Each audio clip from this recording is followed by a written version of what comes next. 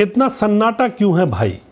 यह डायलॉग तो आपने सुना होगा सोले फ़िल्म के अंदर जो रहीम चाचा होते हैं, वह इस डायलॉग को कहते हैं और इस डायलॉग से वह एक तरह से यह डायलॉग उनका अमर हो जाता है और लोग उनको इसी डायलॉग से ज़्यादा पहचानते हैं।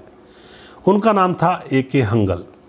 दोस्तों सोले फ़िल्म के रहीम चाचा ए के हंगल, अंत में दवाइयों के भी उनके पास पैसे नहीं थे और किस तरह से उनका अंतिम समय गुजरा था उसके बारे में यहाँ पर पूरी जानकारी लेंगे कि एक इंसान अपने जीवन में क्या क्या उपलब्धियाँ हासिल करता है और अंत समय में उसके हाथ खाली होते हैं। उसके अपने भी उसका साथ छोड़ जाते हैं। ए के हंगल जिनको आप अच्छी तरह से भली भांति जानते होंगे, फ़िल्मों में देखा होगा, जो कि बहुत ही खूबसूरत अदाकारी किया करते थे। तो पूरी सच्चाई जानने के लिए वीडियो को अंत तक ज़रूर देखिएगा। नमस्कार, मैं हूँ सुदेश कुमार और फिल्मी कहानी चैनल में आपका स्वागत है। ए के हंगल इनको देखकर लोग एक्टिंग सीखा करते थे।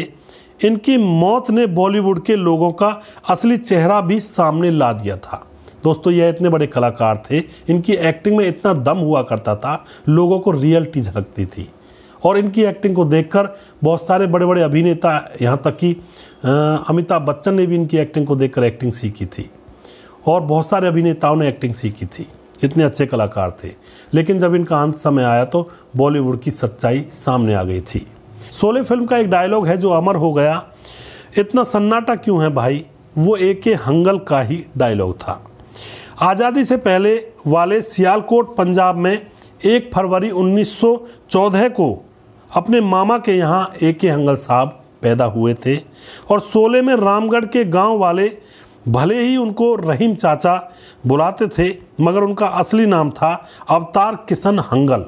तो ये शॉर्ट में बन गया अवतार का ए किशन का के और हंगल, ए के हंगल। तो इनका ए के हंगल शॉर्ट में नाम था। पिता हरि किशन हंगल अंग्रेज़ों की सरकार में अफसर थे और जो दादा थे, वो बंगाल में पहले हिंदुस्तानी जज हुआ करते थे, यानी कि फैमिली भी बड़ी ही थी। कश्मीरी परिवार के ए के हंगल शुरू से ही अंग्रेज़ों के खिलाफ थे, उनसे नफरत किया करते थे, अंग्रेज़ इनको अच्छे नहीं लगते थे। इसी वजह से मैट्रिक पास करते ही अंग्रेज़ों के खिलाफ चल रहे आंदोलनों में वह कूद गए थे। यानी कि देश को आज़ादी दिलाने के लिए ए के हंगल साहब ने बहुत ही ज़्यादा आंदोलनों में भाग लिया था। आज़ादी की लड़ाई में अंग्रेज़ों की लाठियाँ और गोलियों दोनों खाई। मगर बच गए किस्मत से। आज़ादी के बाद भी पाकिस्तानी सरकार के खिलाफ बागी तेवर जारी रहे तो कराची में पकड़कर जेल में डाल दिए गए। आज़ादी के बाद इनके हिस्से में पाकिस्तान आया। पाकिस्तान में जब ये रहने लगे तो उसके बाद ये पाकिस्तानी सरकार के खिलाफ हो जाते हैं, क्योंकि जो कार्य वह कर रही थी सरकार, उसके खिलाफ थे। तो इनको पकड़कर कराची की जेल में डाल दिया जाता है। और फिर दोस्तों, दो साल जेल में रहे, फिर मुल्क से ही तरी पार कर दिए जाते हैं। यानी कि पाकिस्तान से निकाल दिए जाते हैं। और फिर यह साल उन्नीस सौ उनचास में बम्बई में आकर यहाँ पर बस जाते हैं और यहीं के हो जाते हैं। अब कम ही लोगों को पता होगा कि जवाहरलाल नेहरू रिश्ते में इनके मौसा लगा करते थे। नेहरू की पत्नी कमला और हंगल की माँ रिश्ते में दूर की बहनें थी।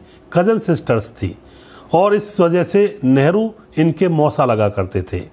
खैर, अब हंगल बम्बई तो आ गए, पर अब करें क्या? यहाँ आने के बाद रोजी रोज़गार क्या करें? इसके बारे में भी वे चिंतित होने लगते हैं। उनको अच्छे कपड़े पहनने का बड़ा शौक था उस ज़माने में तो इसी वजह से दर्जीगिरी उन्होंने सीख ली यहाँ आकर के। और वह एक बहुत ही उच्च दर्जे के दर्जी बन जाते हैं। दोस्तों किसी ने कहा, यही काम करो तो फिर वो इसी काम को शुरू कर देते हैं और दर्जी बन जाते हैं उच्च दर्जे के। वो इतने मशहूर टेलर हो गए थे कि उनकी दर्जीगिरी के लिए उस समय पाँच सौ रुपये उन्हें तनख्वाह मिला करती थी। उन्नीस सौ उनचास में पाँच सौ रुपये तनख्वाह बहुत बड़ी तनख्वाह होती है, जबकि फौजी को, पुलिस को उस टाइम सिर्फ़ तीस रुपये बत्तीस रुपये इस तरह की तनख्वाह मिला करती थी। तो यहाँ पर सोचो कितने बड़े दर्जी बन गए होंगे यह उस ज़माने में। अब दोस्तों यहाँ पर जानते हैं कि दर्जी तो यह बन गए, इनसे इनका भरण पोषण अच्छे से होने लगा, पैसे भी खूब आने लगे उस ज़माने के हिसाब से। अब ये फ़िल्मों में कैसे आए? फ़िल्मों में भी आने की इनकी एक इंटरेस्टिंग स्टोरी है। दोस्तों बचपन में यह पिता इनको पारसी थिएटर में नाटक दिखाने के लिए ले जाया करते थे, बस यहीं से उनको एक्टिंग का शौक लग गया था। और यह भी एक्टर बनना चाहते थे। दर्जीगिरी करते करते वो एप्टा से जुड़ गए और वहीं बलराज साहनी जैसे दिग्गजों का उनको साथ मिला। तो दोस्तों, अभिनय में वह पारंगत हो जाते हैं। अब यहाँ पर 50 की उम्र तक तो वो कपड़े ही सिलते रहे। जब तक इनकी उम्र 50 साल थी, तब तक दर्जी थे। मगर साल 1965 में डायरेक्टर बासु भट्टाचार्य ने अपनी फ़िल्म तीसरी कसम में उनको राज कपूर के बड़े भाई का रोल दे दिया था। और बस यहीं से उनकी एक्टिंग की गाड़ी चल पड़ी थी। फिर 1966 में आई एक फ़िल्म जिसका नाम था सागिर्द। उस फ़िल्म में केदारनाथ बद्री नारायण का किरदार निभाकर तो उन्होंने सबका ही दिल जीत लिया था। उस किरदार को इन्होंने इतनी अच्छी तरह से निभाया था कि लोगों के मन में इनकी छवि बसने लगी थी। उनकी करीब 225 फ़िल्में हैं और उन 225 फ़िल्मों में से कुछ यादगार फ़िल्में हम यहाँ पर उनका नाम लेना चाहेंगे। जैसे कि दोस्तों, हीर रांझा, इसमें काम किया था नमक हराम, शौकीन सोले आईना, अवतार, तपस्या, कोरा कागज़, बावरची चितचोर गुड्डी और नरम गरम जैसी अनेक इनकी सुपरहिट फ़िल्में हैं। जिनमें इन्होंने काम किया था यह कुछ एक फ़िल्में मैंने बताई हैं, क्योंकि 225 फ़िल्मों का नाम लेना यहाँ पर पॉसिबल नहीं है। हंगल साहब की अदाकारी कितनी बेमिसाल थी, इसका अंदाज़ा आप इस बात से लगा सकते हैं कि एक बार दिल्ली में एक लड़की ने उनके साथ रात में अपने घर जाने से मना कर दिया था। उसने शौकीन फ़िल्म देखी थी। और दोस्तों, शौकीन फ़िल्म में इनका रोल थोड़ा सा अयास टाइप का था। और वो उनको सच में ही रंगीन मिजाज का आदमी इंदर सेन समझकर डरा करती थी। उनको समझती थी कि यह रंगीन मिजाज के आदमी हैं। इसलिए वह उनके साथ अपने घर तक नहीं गई थी।